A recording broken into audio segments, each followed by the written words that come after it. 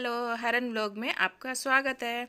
आज का वीडियो में घर पर बच्चों को, ऑटिज्म बच्चों को कैसा योगा कराते हैं देखेंगे। जो बच्चे योगा करने के लिए जिद पकड़ते हैं, नहीं करते हैं उनके लिए ये बहुत यूज़फुल रहेगा। बच्चे नहीं करते हैं तो कोई कोई पेरेंट्स लोग छोड़ देते हैं, नहीं नहीं, हमसे नहीं करा सकते हैं। बच्चे नहीं करते हैं करके ऐसा नहीं करना चाहिए। हरन भी पहले बिल्कुल नहीं करता था। अभी करा करा के थोड़ा आदत हो गई है। अभी करने लगता है बोलने से करने लगता है। तो आ, मैं यह बोलना चाहती हूँ कि बच्चे नहीं करते हैं तो आप थोड़ा थोड़ा करके उनको आदत में लेके आइएगा। बच्चे को ज़रूर प्रैक्टिस होएगा। करो हरन गुड वेरी गुड। पहले एकदम सिंपल योगा कराइएगा।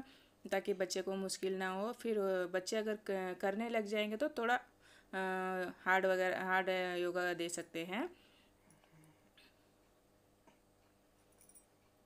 बच्चे नहीं करते तो छोड़ना नहीं चाहिए। बच्चे को सिंपल सिंपल पहले योगा कराइएगा। अगर आप ही नहीं करा सकते, नहीं, बच्चे नहीं करता है नहीं करा सकते ऐसे बोलने से बच्चे कहाँ से करेंगे? आप थोड़ा मतलब थोड़ा कराने से ही तो बच्चे भी, उनको भी थोड़ा इंटरेस्ट आएगा करने के लिए। तो आप छोड़िएगा नहीं। अभी घर पर रहते बच्चे बाहर तो जा नहीं सकते हैं। तो घर पर ऐसे ही छोटा छोटा एक्सरसाइज वगैरह, योगा वगैरह इस तरह करा सकते हैं।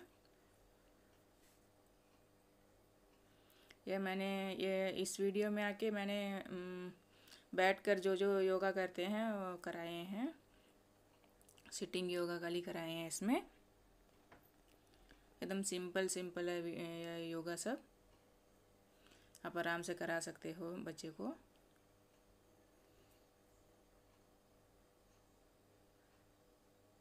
बच्चे को मेन आके फ़िज़िकल एक्टिविटी देना बहुत ज़रूरी है बच्चों को। बच्चे को ऐसे ही काम देते रहोगे तो बच्चे टायर्ड हो जाएँगे। इसमें आके बच्चे का जो नींद भी अच्छा आएगा जो बच्चे हाइपर रहते हैं, उनका हाइपर भी कम होएगा। कंटिन्यू रहना चाहिए। यो रोज़ एक पाँच मिनट या दस मिनट आप अपने बच्चों को दे सकते हो उस तरह योगा।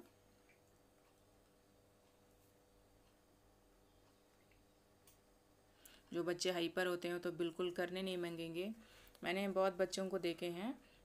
जो बच्चे बहुत हाइपर रहते हैं, बिल्कुल एक भी योगा नहीं करने मांगेंगे, बिल्कुल बेंड नहीं होएँगे कुछ भी नहीं करेंगे, उनके पेरेंट्स बोलेंगे हाँ नहीं करता है, बस बोलकर छोड़ देंगे। ऐसा नहीं करना चाहिए हाइपर होने से क्या हुआ, बच्चों को तो सिखाना ही तो है ना। थोड़ा थोड़ा करके प्रैक्टिस में लेके आइएगा। एक हाइपर एक वर्ड को रख के आप बच्चे का इस तरह नहीं करता है, बच्चे नहीं करते हैं, बच्चे नहीं करेंगे, हम ही को सिखाना चाहिए पेरेंट्स को ही कराना चाहिए प्रैक्टिस में लेके आना है। अभी यह मैंने एक तीन चार साल पहले की बात है, हरन बिल्कुल एक योगा भी नहीं करेगा।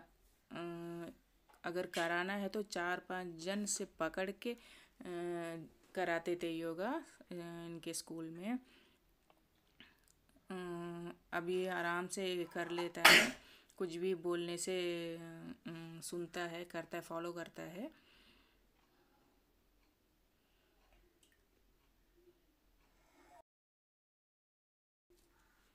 भुजंगासनम, सिर ऊपर उठा वरन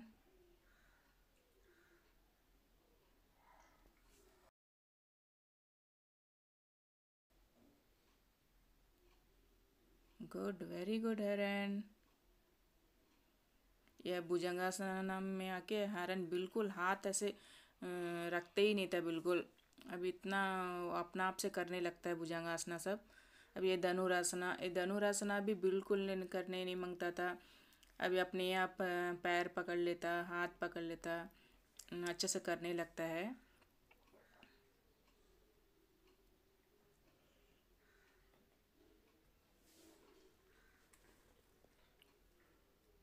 सिर उठाओ हरन ओके गुड चलो, अभी सीधे लेट जाओ।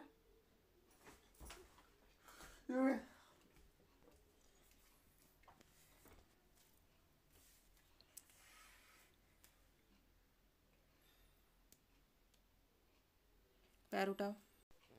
दूसरे पैर भी उठाओ हरन गुड वेरी गुड अभी सर के पीछे लेकर आओ। आप कभी भी योगा कराते समय ना काउंटिंग करना चाहिए। बच्चे, अभी बच्चे स्टार्टिंग करते हैं तो वन से फाइव तक का काउंटिंग थोड़ा प्रैक्टिस हो जाएगा तो फिर वन से टेन तक का। इस तरह थोड़ा इंक्रीज़ करते जाइएगा काउंटिंग को, फिर वन से ट्वेंटी तक का।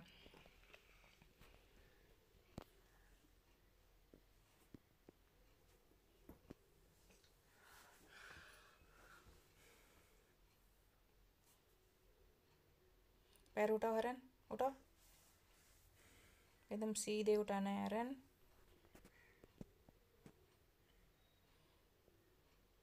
बच्चे नहीं कर, जो जो करने के लिए मुश्किल होते हैं, जो जो योगा करने के लिए, आप थोड़ा सपोर्ट कीजिएगा उसे। बच्चे को प्रैक्टिस हो जाएगा तो बच्चे अपने आप खुद कर लेंगे। पकड़ लो, पैर को पकड़ लो हरन गुड वेरी गुड सर को उठाओ सर उठाओ हरन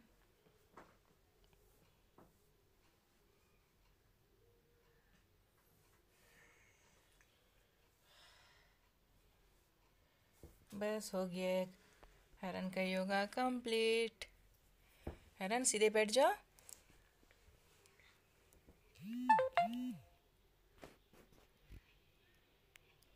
सीधे बैठ जाओ। पैर फोल्ड कर लो, हाथ जोड़ लो। बस योगा, फिनिश, ओम बोल देना। ओ